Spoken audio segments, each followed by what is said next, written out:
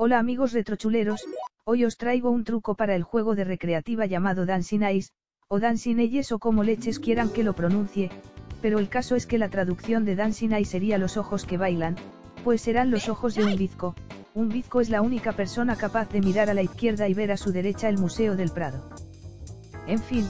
que en este juego manejamos a un mono muy mono que tiene que completar una cuadrícula para poder ver el modelito que lleva puesto una chica, vamos que el mono está más salido que el rabo de una sartén.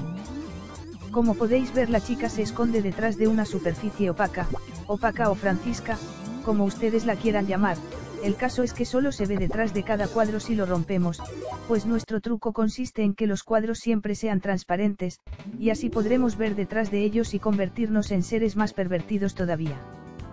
Para ello tenéis que hacer dos veces arriba arriba, abajo abajo, izquierda izquierda, derecha derecha y oiréis un sonidito. ¡Hala! Ya tenéis el barril transparente y podéis ver lo que hay dentro sin necesidad de romper los cuadrados, ahora el juego carece de sentido, es más raro que un pescado con hombros, pero bueno, es lo que hay, para gustos los colores. El mono se ha quedado más contento que MacGyver en una ferretería, nos vemos en el siguiente vídeo, suscribíos, adiós.